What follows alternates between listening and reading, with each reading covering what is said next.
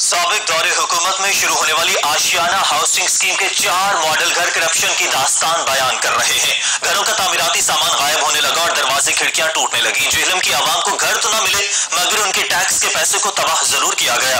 مزید جانتے ہیں ہمارے رپورٹر بابر حسین سے۔ جی بابر تفصیل آگاہ کیجیے گا۔ جی بالکل۔ جہلم کے جی ٹی روڈ کے ساتھ آشیانہ ہاؤسنگ سکیم پچھلے دور حکومت میں زور و شور سے شروع کی گئی تھی۔ یہ Ashiana housing scheme G T road سے بالکل ساتھ اگر دیکھا جائے تو چار ماڈل گھر بھی یہاں پہ بنائے گئے تھے۔ یہ چاروں گھر جو ہے کرپشن کی داستان داستان چیخ چیخ کے بیان کر رہے ہیں۔ یہ چاروں گھروں کا تعمیراتی سامان غائب ہو رہا ہے۔ یہاں پہ کھڑکیوں کے شیشے ٹوٹ چکے ہیں۔ یہاں پہ دروازے ٹوٹ چکے ہیں۔ لیکن افسوس کی بات ہے پچھلے دور حکومت میں یہ جو گھر تعمیر کرنے کے لیے بے گھر افراد کے لیے بنائے گئے تھے، یہ چاروں ماڈل گھر تباہ ہو رہے ہیں۔ یہاں پہ ان کا کوئی خیال کرنے والا نہیں ہے۔ عوام کے جو ٹیکس سے خطیر رقم ان چار ماڈل گھروں میں خرچ کی گئی تھی۔ ان کا خیال رکھنے کے لیے یہاں پہ کوئی بھی نہیں ہے۔ یہاں پہ افتتاحی تختی تک غائب ہو چکی ہے۔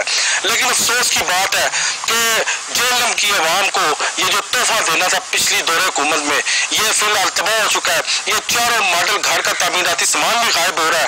یہاں پہ کوئی خیال رکھنے والا نہیں ہے۔ اور انتہائی افسوس کی بات ہے کہ جو لوگ ٹیکس کے پیسے کو ضائع کرتے ہیں، ان کو پوچھنا چاہیے۔